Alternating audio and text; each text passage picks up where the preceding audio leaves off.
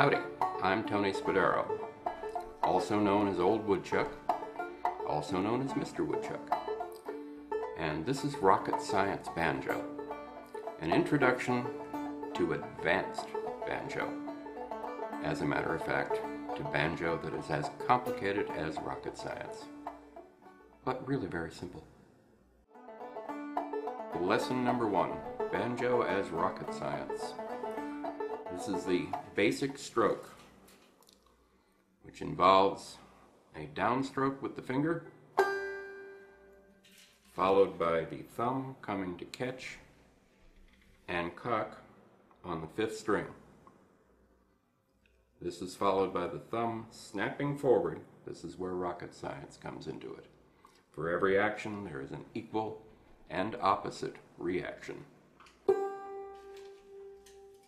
The thumb snapping forward causes the hand to fly backwards, putting you back into position for the next stroke. So that you do it again. Finger down, thumb cock.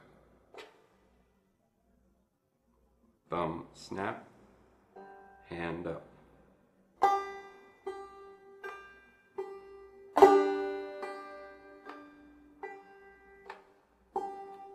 Get that over the head where it's more visible.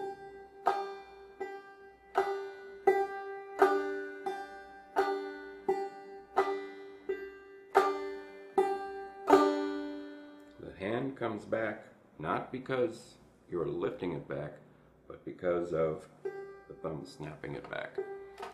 Yeah, there is a muscle assist there, but it's basically the same principle that the space shuttle uses.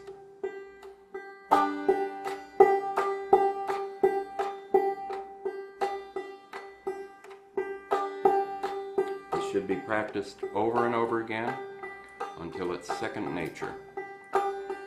Don't worry about bum ditty or any of that stuff. Just get this much down.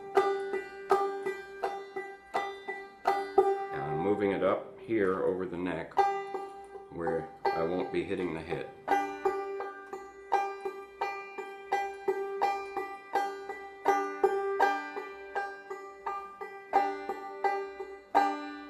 When that's driving you crazy, you can block the strings with your left hand like this. I should say when it's driving your family crazy.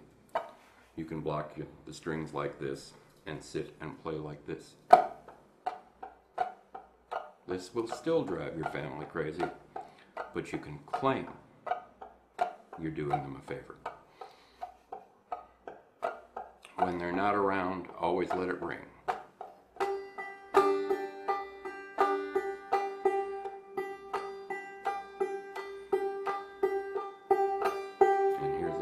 Of music.